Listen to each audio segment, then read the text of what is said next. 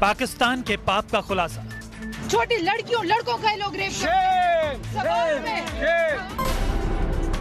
पाकिस्तान की बेटी बोलेगी पूरे पाकिस्तान की पोल खोलेगी। इन्होंने वहाँ पर छोटे छोटे बच्चों का रेप किया। आज दुनिया के सामने एक बार फिर बेनकाब होगा पाकिस्तान। इन्होंने ना हमें घरों के अंदर छोड़ा है ना घरों के बाहर इज़्ज़त से छोड़ा है। पाकिस्तान के इस गुलालाई की बातें सुनकर इमरान के होश उड़ जाएँगे। में आज भी आप जाएँ और आप उनसे लोगों से पूछेंगे यहाँ पर बच्चों के साथ जंसी तशद होता तो आपको कहेंगे हाँ यही फौजी एहलकार हमारे बच्चों और बच्चों के साथ जंसी ज़्यादा करते हैं। पाकिस्तान की गुलालाई आज बाजवा की बत्ती गुल कर देगी। जब तक इस मुल्क की मीशत जंग के साथ बारूद के साथ जुड़ी रहेगी हमारे बच्चे इसी तरह से कत्ल होते रहेंगे। जहन्नुम से भी बदतर हो चुकी है पाकिस्तानियों की हालत। हम जैसे गए हमने देखा कि एक औरत गिरती है धड़ाम से और उसके देखते देखते दूसरी नौजवान खातून गिर जाती है गिर जाती है। ज़मीन पर धड़ाम से बिल्कुल बिल्कुल गिर जाती सालों से पाकिस्तान में जारी है जुल्म। फिर बाहर से जब भी कोई आया आया है तो वो फौजी आए हैं हमला करने के लिए किसी को उठाने के लिए हरासानी करने के लिए। पाकिस्तान में महिलाओं पर अत्याचार के इंतहा। वो अपने घर इसलिए छोड़कर आए थे कि उनकी इज्जतें वहाँ पर महफूज नहीं थी। कश्मीर में आतंक की बोली और साजिश वाली गोली चलाने वाले इमरान के पाकिस्तान की हालत इतनी खराब हो चुकी है कि वहाँ के लोगों की ज़िंदगी नर्क से भी बदतर बन चुकी है। और आज अपनी इस खास पेशकश में आपको पाकिस्तान में लड़कियों और महिलाओं पर होने वाली जुल्म के इंतहा को बयां करने वाला सच दिखाएँगे। आज हम आपको सुनाएँगे पाकिस्तान की उस बेटी का सच, जिसे सुनकर इमरान और बाजवा की बत्ती गुल हो जाएगी और पूरी दुनिया में पाकिस्तान की और भी थू होगी। तो बने रहिए न्यूज़ नेशन के साथ, क्योंकि आज आपको दिखाएँगे कि कैसे गुलालाई बोली और इमरान की कुर्सी डोली नमस्कार, स्वागत है आप सभी का। आप देख रहे हैं हमारी खास पेशकश गुलालाई की गोली और इमरान की कुर्सी डोली, जिसमें आज हम आपको दिखाएँगे कि कैसे भारत के खिलाफ छद्म युद्ध पर उतर आया पाकिस्तान अपने ही घर में नापाक हरकतें कर रहा है।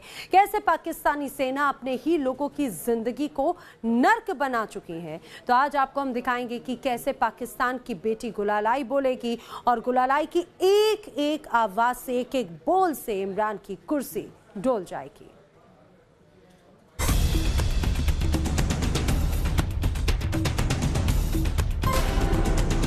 पाकिस्तान पर फूटा गुलालाई बम। गुलालाई बम के विस्फोट से हिल गया नरकिस्तान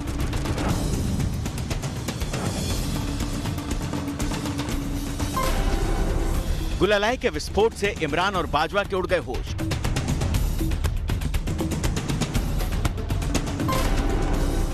पाक के गुलालाई ने कर दिया पाकिस्तान की टोटल बेइज्जती।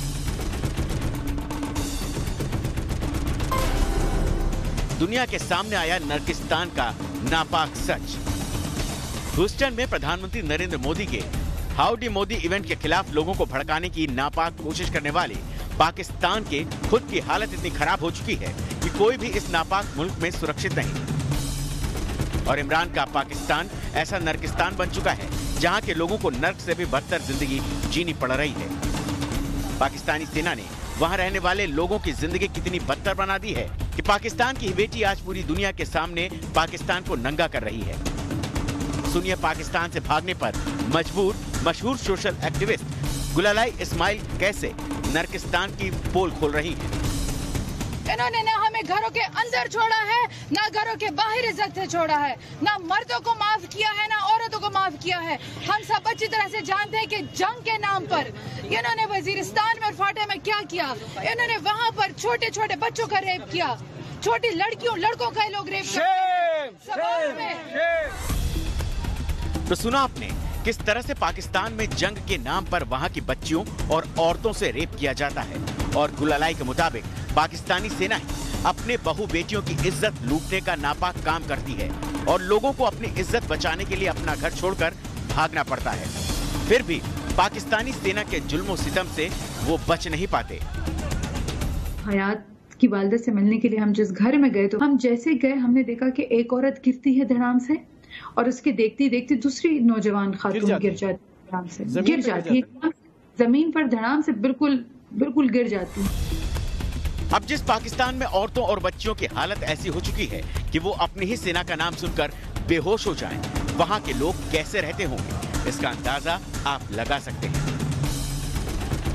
हमें बताया गया कि ये अमल यहाँ पर बहुत आम है कि जब भी कोई आया आया है तो वो फौजी आए हैं हमला करने के लिए किसी को उठाने के लिए हरासानी करने के लिए और वो खौफ के मारे बेहोश हो गई। तो सुना आपने किस तरह से पाकिस्तान की बेटी गुलालाई पाकिस्तानी सेना के नापाक हरकतों की पोल खोल रही है? और गुलालाई के मुताबिक जब पाकिस्तान की 32 साल की गुलालाई ने इस मुद्दे को उठाना चाहा तो वो पाकिस्तानी सेना और सरकार की ही कट्टर दुश्मन बन गई। पिछले साल मई से पाकिस्तान की खुफिया एजेंसी आईएसआई, सेना और तमाम पुलिस इस सोशल एक्टिविस्ट की तलाश कर रही है। लेकिन वो पाकिस्तान सरकार को आईना दिखाकर अमेरिका पहुँच गई और अब वो नरकिस्तान का एक एक सच दुनिया के सामने ला रही है। ऐसा माना जाता है गुलालाई इस्माइल के पास आईएसआई और सेना के साथ ही पाकिस्तान सरकार के कई राज और सबूत हैं और इसी वजह से वो पाकिस्तानी हुकूमत की दुश्मन बनी हुई है। आज भी आप जाएँ और आप उनसे लोगों से पूछें कि यहाँ पर बच्चों के साथ जंसी तशद होता तो आपको कहेंगे हाँ यही फौजी एहलकार हमारे बच्चों और बच्चों के साथ जंसी ज़्यादा करते हैं। आप सब लोग जानते हैं कि कितने कबाइल और कितने पश्तून सवात और कबाइल इसलिए नहीं छोड़कर आए थे सिर्फ़ कि वहाँ पे जंग हो रही थी। वो अपने घर इसलिए छोड़कर आए थे कि उनकी इज्जतें वहाँ पर महफूज नहीं थी। इसलिए कि यही फौजी एहलकार उनके घरों के, के अंदर घुसकर उनको बेइज्जत करते थे। पाकिस्तान गुलालाई को कितना बड़ा खतरा मानता है इसका अंदाज़ा इस बात से लगाया जा सकता है कि उसकी फ़ोटो हर स्टेशन पुलिस थाने एयरपोर्ट और यहाँ तक कि बंदरगाह पर भी लगाई जा चुकी है। जब तक इस मुल्क की मीशत जंग के साथ, बारूद के साथ जुड़ी रहेगी। हमारे बच्चे इसी तरह से कत्ल होते रहेंगे। हम हम इसी तरह से बेघर होंगे और बेघरी की हालत में इस तरह जनसी ज़्यादा और कत्ल के निशाना बनते रहेंगे। नरकिस्तान की पोल खोलने वाली पाकिस्तान की बेटी गुलाला इस्माइल पाकिस्तान के खैबर पख्तूनख्वा प्रांत की रहने वाली है और पश्तून समुदाय से ताल्लुक रखती है। ये पाकिस्तानी सेना और आईएसआई के जुल्म सितम के खिलाफ आवाज़ उठाती रही है। कई विदेशी अखबारों में उनके लेख प्रकाशित होते हैं। बलूचिस्तान और पीओके के हज़ारों लोग कई साल से गायब हैं। आरोप है कि सेना ने उनकी हत्या कर दी। सेना और आईएसआई को शक है कि गुलालाई के पास सेना के जुल्म के पुख्ता सबूत, वीडियो और दस्तावेजों की शक्ल में मौजूद है। Team News Nation. तो देखा आपने किस तरह से गुलालाई ने पाकिस्तान की जो असलियत है वो सबके सामने रखी और किस तरह से वो ऐसे ही आवाज़ें उठाती रही, वो हम आपको दिखाएँगे। लेकिन आपको ये जरा दिखा दें कि पाकिस्तान किस तरह से अत्याचार करता है, पाकिस्तानी सेना किस तरह से अत्याचारी है। पीओके में खासतौर से पाकिस्तान के पापों का घड़ा भर चुका है। भारत बार बार पाकिस्तान के गुनाहों पर उसे एक्सपोज कर रहा है। तो पीओके समेत गिलगित बल्तिस्तान के कश्मीरी भी पाकिस्तान के खिलाफ खड़े हो गए हैं। बार बार पाकिस्तान पाकिस्तान को कोसा जा रहा है और जुल्म सितम के सताए ये कश्मीरी कह रहे हैं, हम हिंदुस्तान के साथ आगे बढ़ना चाहते हैं। ये है इमरान का सच से सामना। इमरान खान जिस जगह खड़े होकर पीओके में प्रोपोगेंडा कर रहे थे, वही पीओके के कश्मीरी चिल्ला चिल्ला कर इमरान की बेरहम हुकूमत जालिम फौज को कोस रही थी। हालात ऐसे थे कि पाकिस्तानी फौज गोली चला रही थी और पीओके के कश्मीरी बंदूकों की सल्तनत को ललकार रही थी। ये देखे जी पहला पुलिस की शेलिंग जो के पुलिस ने पहली शेलिंग शुरू कर दी। क्या बच्चा क्या नौजवान और क्या बुज़ुर्ग? सब इमरान खान को चुनौती दे रहे थे कि पीओके पर पाकिस्तानी जुल्म सितम की घड़ी खत्म हो चुकी है।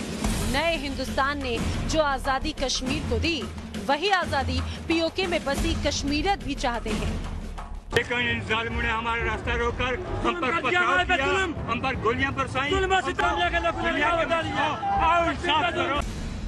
इमरान खान और जनरल बाजवा को इस आग की पहली तपिश महसूस हो चुकी है। जब से इमरान ने कश्मीर पर प्रोपोगेंडा शुरू किया है, तब से पाकिस्तान के नाजायज कब्जे से जूझ रहे कश्मीरी हर मोर्चे पर टक्कर दे रहे हैं। India and Gilgit Baltistan are part of the same body part of the same culture and civilisation part of the same country and I think the United Nations the member of the United Nation need to realise that Pakistan has been has become a big stumble block for the last 70 years, and it is the only reason why there's a huge impasse in, in achieving the real development and real true autonomy that the people of Gilgit-Baltistan deserve within the Indian constitution.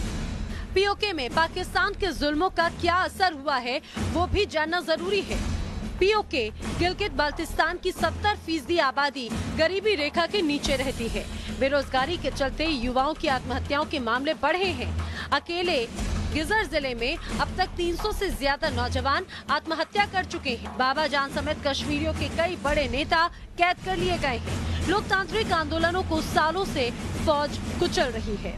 Kashmir को धरती की जन्नत कहा जाता है, लेकिन इस कश्मीर के एक हिस्से को पाकिस्तान ने जहन्नुम बना दिया। और यही वजह है कि अब पीओके और गिलगित बाल्टिस्तान से एक ही आवाज़ आती है। भारत के साथ आगे बढ़ना है। टीम न्यूज़ नेशन अनुच्छेद 370 की मार से कराह रहे पाकिस्तान को। अब पीओके भी खोने का डर सताने लगा है। पाकिस्तान के पीएम इमरान खान और उसकी बुजर सेना अपना सारा ध्यान पीओके बचाने में लगा रखी है। और खबर है कि पाक अधिकृत कश्मीर में पाकिस्तानी सेना हथियार, गोला बारूद, राशन इकट्ठा कर रही है। पाक फौज की 12 इन्फेंट्रीज को तैनात किया गया है और तो और पीओके से आज़ादी की आवाज़ भी अब दुनिया के कानों तक ना पहुँच पाए इसके लिए पाकिस्तान ने तमाम तरह की पाबंदियाँ वहाँ लगा रखी हैं Uh, our position on POK is, has always been, and will always be very clear. Uh, POK uh, is part of India. PoK पर हिंदुस्तान के दो टूक ने पाकिस्तान को बेचैन कर दिया है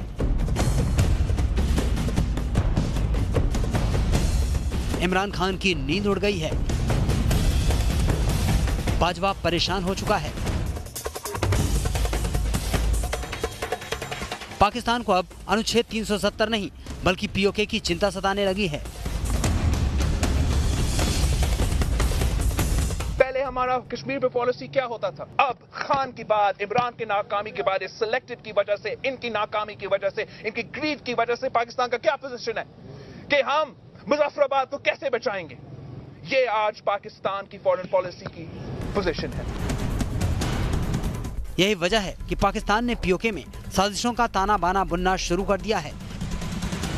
न्यूयॉर्क टाइम्स की रिपोर्ट में कहा गया है कि पीओके में तेज होती आज़ादी की मांग के बीच हाल के दिनों में सेना की गतिविधियाँ बढ़ी हैं।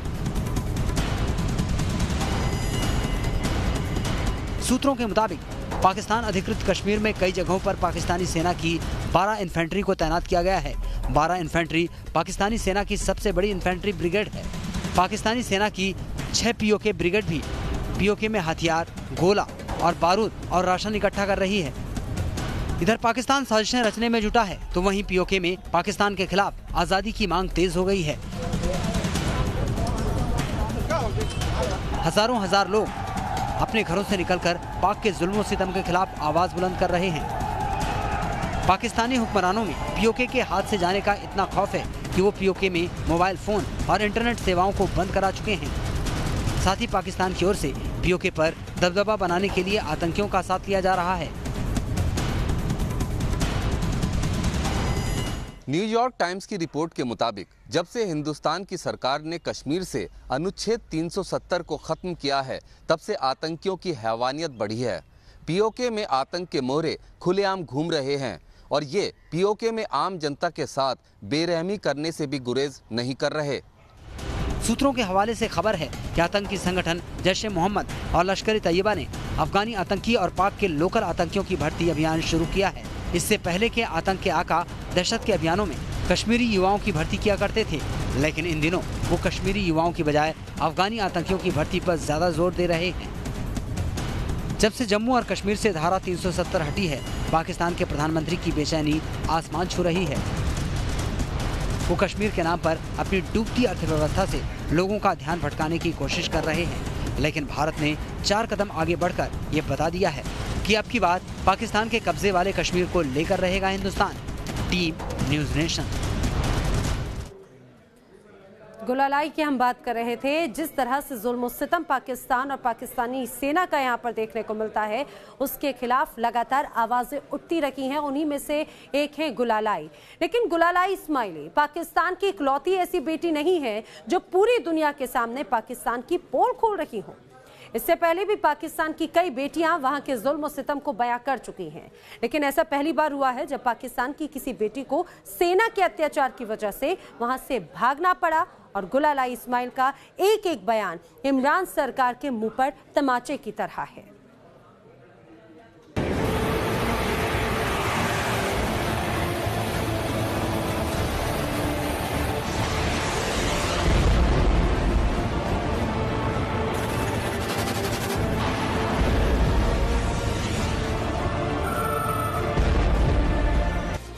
हिंदुस्तान से हर मोर्चे पर मात खाने वाला पाकिस्तान सालों से छद्म युद्ध पर उतरा हुआ है।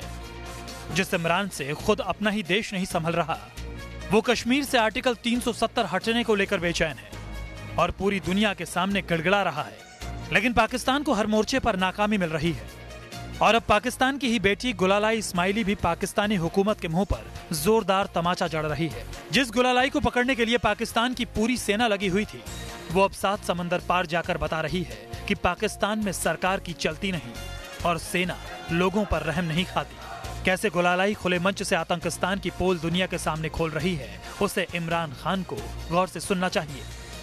जब तक इस मुल्क की मीशत जंग के साथ, बारूद के साथ जुड़ी रहेगी, हमारे बच्चे इसी तरह से कत्ल होते रहेंगे, हम हम इसी तरह से बेघर होंगे और बेघरी की हालत में इस तरह जनसी ज़्यादा और कत्ल के निशाना बनते रहेंगे। आपको बता दें कि गुलेलाई इस्माइल ने पाकिस्तानी सुरक्षा बलों द्वारा यौन शोषण की घटनाओं को उजागर करने की कोशिश की थी। लेकिन देश की महिलाओं पर होने वाले अत्याचारों के खिलाफ गुलालाई द्वारा लगातार छेड़े गए विरोध प्रदर्शनों की वजह से गुलेलाई पर ही देशद्रोह के आरोप लगा दिए गए। लेकिन गुलालाई का मानना है कि उन पर लगाए गए देशद्रोह के सभी आरोप एकदम गलत है। और उसे सिर्फ़ इस वजह से निशाना बनाया जा रहा है क्योंकि उसने सेना द्वारा ज़बरदस्ती किए जा रहे मानवाधिकारों के हनन को उजागर करने की कोशिश की। लेकिन अब गुलालाई ने पाकिस्तान की बखिया उधेड़ कर रख दी है। और जिस पर पाकिस्तानी हुक्मरान और सेना हमेशा से धूल डालते आए हैं, उसे दुनिया के सामने ला दिया है। सुनिए, कैसे इस लड़की ने खुलेआम पाकिस्तानी नेताओं की टोपी उछाल दी। पाकिस्तान की पोल खोलने की वजह से अपने ही देश में गुलेलाई की जान भी खतरे में पड़ गई थी। और पाकिस्तान में महिला कार्यकर्ताओं के एक समूह ने इमरान खान को चिट्ठी लिखकर स्माइल की सुरक्षा बढ़ाने की अपील भी की थी। लेकिन उल्टे गुलालाई पर ही गिरफ्तारी की तलवार लटक गई। और बड़ी मुश्किल से गुलालाई। अपनी जान बचाकर पाकिस्तान से भागने में कामयाब हो पाई।